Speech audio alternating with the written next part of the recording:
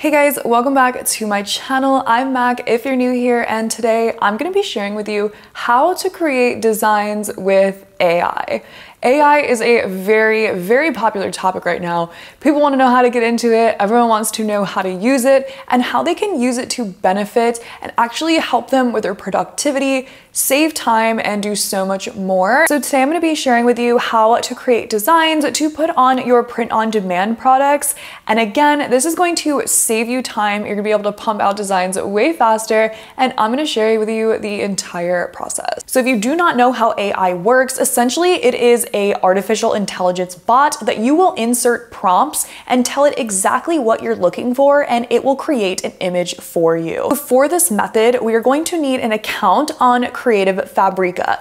We're going to be using their feature called CF Spark, which has so many different benefits to it. You can do everything from creating designs, patterns, to coloring pages. Hello, if you're selling digital products, you can have AI create a coloring page for you. There's so many options here and we're just gonna be using the design tool to create some images, like I said, for our print on demand products. So my inspiration for this is I was looking on Etsy for different summertime aesthetics, summertime hoodies. What I came up with was sort of kawaii, summer inspired, cute designs to put on tote bags, maybe mugs or tumblers, um, and even t-shirts you could do this with or sweatshirts. So that is the inspiration that I am going with. As you can see here, this is the homepage to Creative Fabrica. And right here under CF Spark is where we're gonna go to access this feature. And like I was mentioning before, they do have multiple different things that you can create with this, but we're gonna go ahead and select create art. Now on this page here, I have played around with this a little bit, um, so that's why you're seeing some prompts here, but this is where we're going to type out exactly what we would see. Now, if it is your very first time doing this, I recommend going over to the prompt book or prompt builder because that's gonna give you a few tips on how to really generate the images that you're looking for. Because when I first started this, I was getting things that had nothing to do with what I was actually trying to create because I didn't understand how to type my prompts out. So we're gonna start really basic in this video too. Um, so like I said, I'm looking for cutesy, kawaii inspired designs here. You can also change the size of your image depending on what you're creating. We're gonna keep it um, as a square because we're just making um, an image for a design here. So I'm gonna just type the word cat with a comma after it, and then I'm gonna select this kawaii option here. And we're just gonna hit ignite, and I'm gonna show you what it comes up with. I have done this a few times with the same types of prompts, and it gives me different things every time. So as we can see, this last three here is kind of the vibe that I'm looking for. I want more of a cutesy image rather than like a realistic image. Um, again, just depends on what you're looking for. So I'm gonna go with this one and select this create variations. What this does is it takes that image and creates multiple variations of that image. So as you can see here, this just created a bunch of different variations for this cat. Now I still like that original one that we saw here, but I do wanna show you one more example of how you can create like this. So again, heading back to the CF Spark here, I've typed the words kawaii cat. See how switching, you know, one word around can change the aesthetic and vibe so much.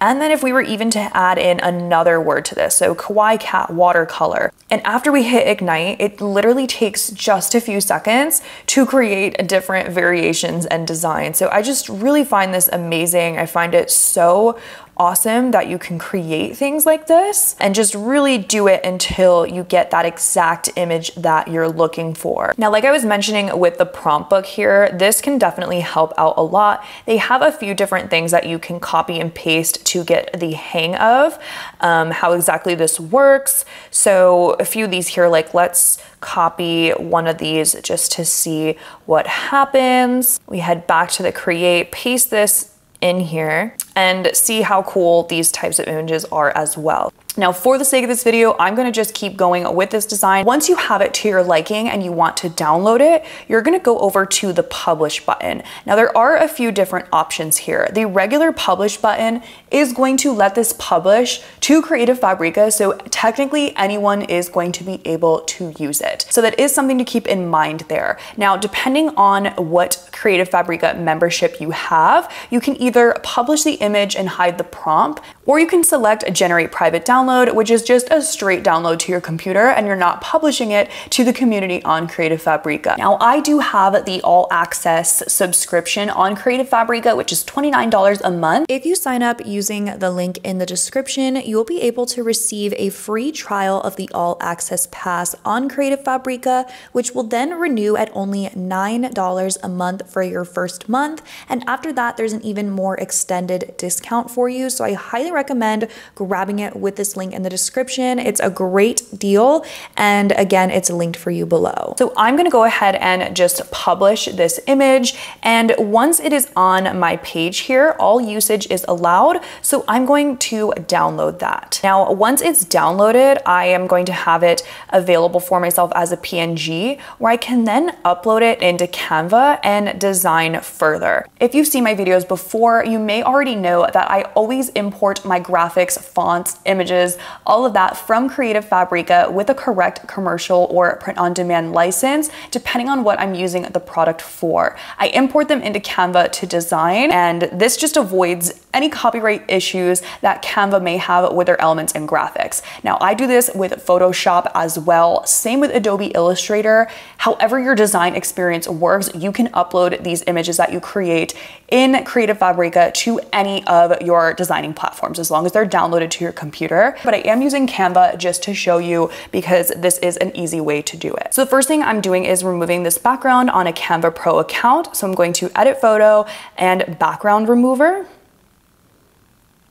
Now that the background is removed in this image, it is ready to be put on a print on demand product and sold. Because we have that license, we didn't even have to design this ourselves. So it's really, really easy to do. Now you could go ahead and add some text here. Again, making sure that we have the license on our fonts, um, or you can just upload this as is. So I'm gonna download this and show you what it would look like on a print on demand product that we can then list on our Shopify or Etsy store. Here is what our image image would look like if we were to upload it onto a print on demand product. So as you can see, super cute. Um, and then this is what a preview would look like. So obviously you could add tags, you could get super creative with it but it's just a super fun and easy way to create designs, even if you are a beginner. And using this feature on Creative Fabrica is very user friendly, and I highly recommend checking it out. Because as you can see, being able to create beautiful products like this for your print on demand store in just a few moments. We can even go a step further in our listing and grab some mock-ups to help our products really stand out on Etsy. And because we removed the background on that image, we can now just drag and drop that directly into a source like Placeit to really make this pop and use this photo to start selling on our Etsy shops. But as always, Creative Fabrica has tons of different designs that are already made for you. I will leave a video linked below for you if that interests you. Instead of using the AI, lots of different options here to create. So there's no excuses why you cannot start selling print on on demand products. I know designing can be really overwhelming, so I really hope this AI feature can help you. If you did like this video or you want to see more like it, please leave a like and comment down below any questions you may have about how to use this or if you've tried this out, I want to know if it is working for you. Thank you so much for watching and I'll see you in the next one.